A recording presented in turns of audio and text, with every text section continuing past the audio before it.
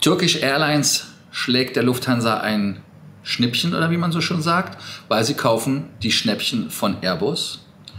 Des Weiteren gibt es äh, Neuigkeiten aus Rom und zwar vom Flughafen. Man möchte MSC Lufthansa haben, dass sie sich ja bei Alitalia oder ITA, wie auch immer die Bude jetzt heißen mag, vielleicht kommt ja der Markenname wieder, beteiligen. Und als drittes Thema IHG One Rewards, so heißt das. Ich habe mich an den neuen Namen noch nicht gewöhnt, aber man verschenkt den Platin-Status und bietet sogar eine Diamond Challenge.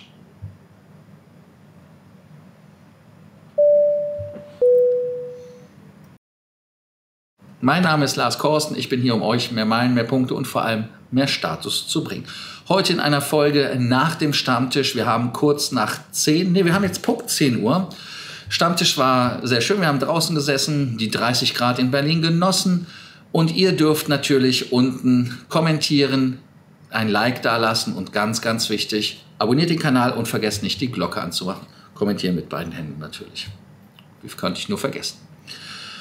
Ja, was soll ich noch sagen? Stammtisch übermorgen in München im äh, Arnulfstraße heißt es, ich bin aufgeklärt worden, Arnulfstraße ist die Adresse. Und dann haben wir am Frankfurt im, ähm, am Flughafen im Hyatt Place wie immer unseren Stammtisch am Sonntag. Also herzlich eingeladen, würde mich freuen, wenn ihr kommt. Das erste Thema. Fangen wir einfach an mit einem leichten Thema. Das ist der Flughafen Rom. Der Flughafen Rom wünscht sich die Lufthansa mit der MSC, dass sie die ITA übernehmen. Warum sage ich immer Alitalia? Warum? Weil es für mich immer noch die Alitalia ist und man ja auch den Markennamen hat. Also insofern Alitalia da auch mal draufschreiben könnte irgendwann. Und zwar im Endspurt auf die ITA unterstützt der Flughafen Rom. Und zwar ist das Marco Trancone. Klingt irgendwie so wie so ein äh, Regisseur oder sowas. Ne? Auf jeden Fall, der sagt im Interview mit dem Handelsblatt, dass man klar für die ITA-Übernahme durch die MSC Lufthansa ist als Gründung, äh, als Begründung ist es einfach natürlich so, dass der Flughafen Fiumicino darauf hofft, auf Lufthansa, weil Lufthansa ja gesagt hat, man würde Rom zu einem weiteren Lufthansa-Drehkreuz aufbauen ausbauen. Und das ist natürlich eine Zusage, wo man in Rom sagt, hey, hallo, wir sind ja da. Würden die anderen das auch sagen, würden die die auch unterstützen? Ich meine, die würden die auch unterstützen. Insofern äh, wichtige Sache. Ähm, dann geht's weiter, dass man ähm, sich natürlich mit einem Drehkreuzmodell bei Lufthansa sehr, sehr gut auskennt. Wir sehen das ja bei der Swiss mit äh, Zürich bis in Genf, dann natürlich bei der Austrian in Wien und logischerweise auch bei der ähm, Brussels in Brussels. Ja, was ist eure Meinung?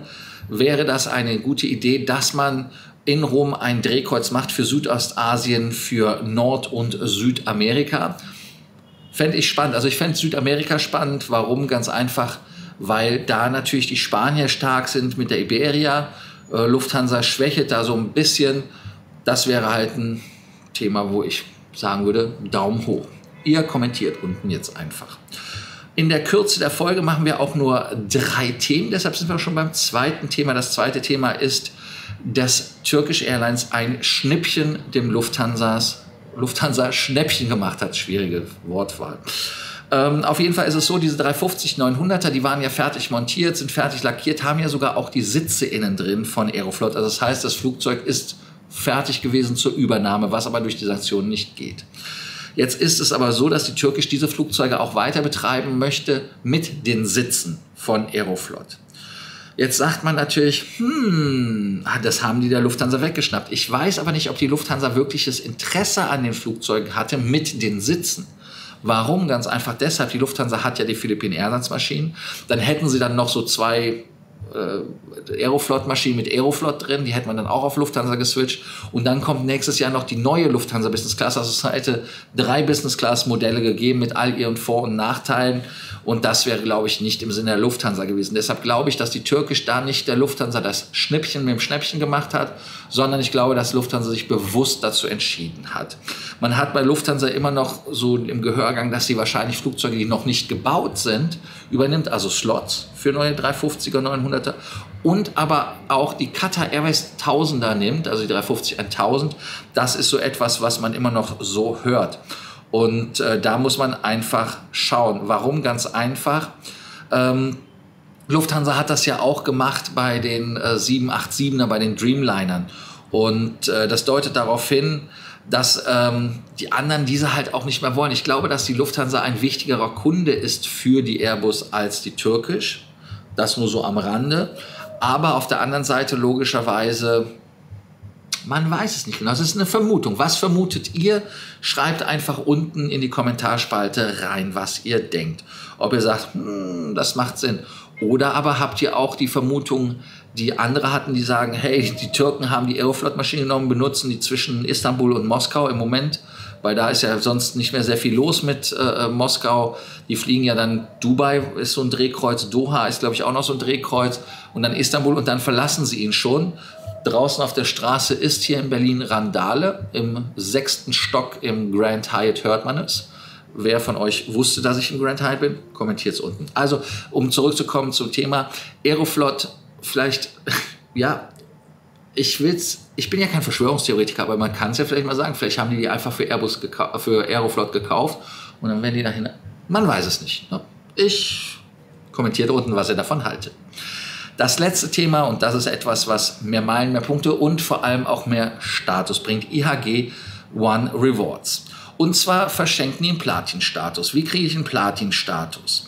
Die ähm, Promo hat einen Platin-Status anscheinend, so wenn man so die Seite sich anschaut, wo man nicht nachweisen muss, dass man einen Status hat. Und dann kann man mit fünf Nächten innerhalb von 120 Tagen den Platin bestätigen bis, äh, bis März 2023, nee, bis Ende 2023 sogar, also sehr, sehr großzügig, anderthalb Jahre. Und dann, wenn man 25, wenn man 15 Nächte hat, bekommt man sogar bis Ende 2023 den Diamond-Status. Ist das für euch interessant? Sagt ihr IHG One Rewards, das ist cool. Wie sind eure Erfahrungen? Ich persönlich habe mit meinem Diamond-Status noch keine Übernachtung gemacht. Ich bin da mal gespannt, was da passiert, äh, wie das ist. Man hört ja so durchwachsene Sachen, dass bei einigen Hotels was möglich ist, bei anderen nicht.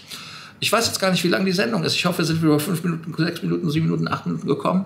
Wenn nicht, müssen wir mal schauen. Also auf jeden Fall ganz wichtig, Danke, dass ihr heute dabei wart bei Frequent Traveler TV, der Take-Off-Ausgabe aus Berlin in einer schnellen Nachstammtisch-Sendung.